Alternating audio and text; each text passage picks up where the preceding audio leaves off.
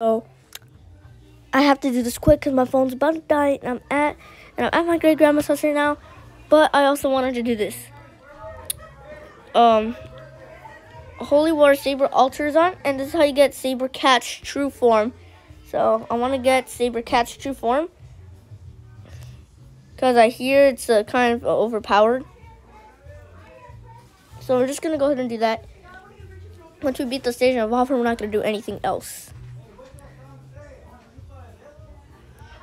Oh, we're gonna be able to see Saber Alter.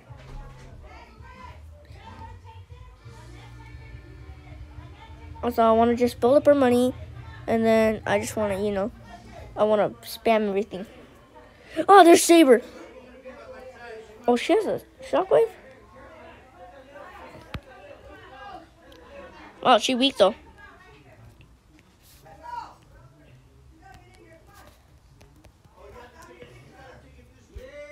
Saber. There we go, there we go, there we go, there we go, there we go. Just get rid of it.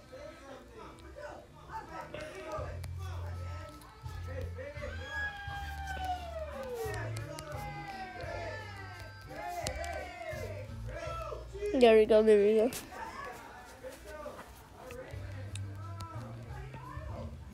Yes, we did it. We did it. Saber Cat's true form received. Uh, upgrade.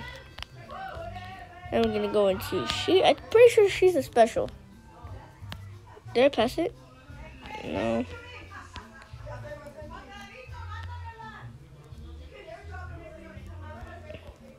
Oh yeah, see? Need a weekend, I mean all that, but no. Yeah, let's go check her out. And um the cat guide.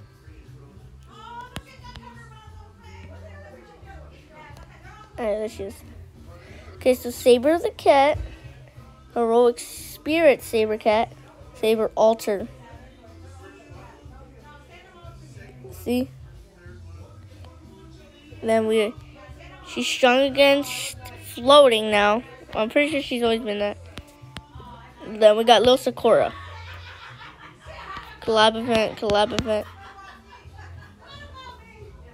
I'm pretty sure we're getting another unit once we log in on day 10. We're getting inside a Shahoru cat, something like that, I'm pretty sure. But there's Kotomine and Gilgamesh cats. Uh, see, we have, I have not, not too much stuff. I'm missing like Delinquent and a couple more. I'm also missing Nipcat, but in the rare section, I'm only missing um Witch Cat. So anyways, thank you guys so much for watching. Comment, like, subscribe, and I shall see you guys next time, and bye.